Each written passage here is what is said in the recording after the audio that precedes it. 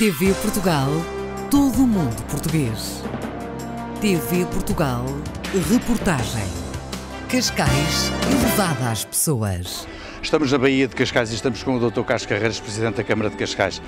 Doutor, há 30, 40 anos o figurino não era este. Uh, até chegarmos aqui uh, houve um percurso. Não, mas há muitos valores que se mantêm, nomeadamente a posição que vamos ter agora no próximo domingo, e será uma posição, penso eu, este ano ainda mais rica porque se junta com a recepção de barcos tradicionais do, do, do Tejo e barcos tradicionais de Cascais.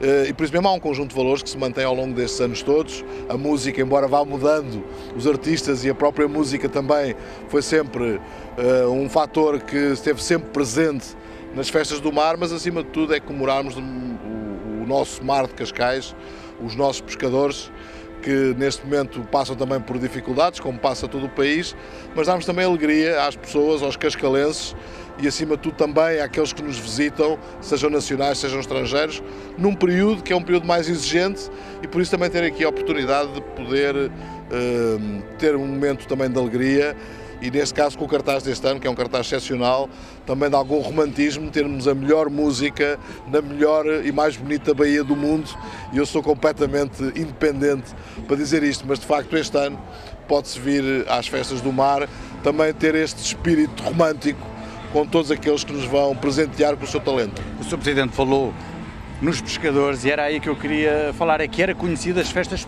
as festas dos pescadores. Entretanto, houve toda esta evolução. Mas já há uns anos esta parte. Agora, o que marca e o que tem a presença ainda tradicional era, como eu disse, a procissão e essa vai ser no próximo domingo, dia 19, a partir das 15 horas, que é uma procissão um pouco fora do comum, porque é uma procissão em terra e no mar.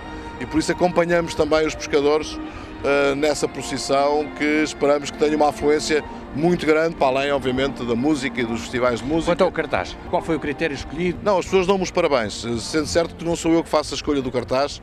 Se fosse eu, certamente o cartaz não era tão bom quanto é e quanto tem sido, mas de facto o cartaz este ano tem criado uma expectativa muito grande por parte das pessoas e é um cartaz excepcional que eu espero que atraia à Bahia eh, tanta gente quanto tem atraído nos anos anteriores. É o segundo, a segunda vez como Presidente, à frente do Executivo, que vai uh, assistir às festas uh, e participar, porque se também envolve na, na também própria gosto festa. De desafinar, também gosto de desafinar. Uh, o que é que acha do ano anterior para este? Acha que há algo de diferente para, com certeza, para melhor? Não, tentamos sempre fazer melhor, embora vamos colocando a fasquia sempre tão mais alto que há de haver um dia que porventura não é possível colocá-la mais alto.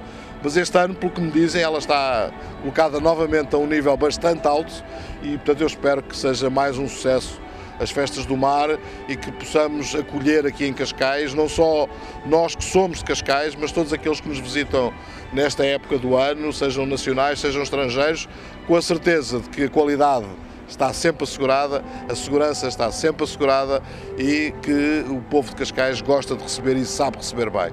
E portanto é, digamos, também uma festa da própria comunidade de Cascais. Muito obrigado, Sr. Presidente, foi um prazer ter falado com você.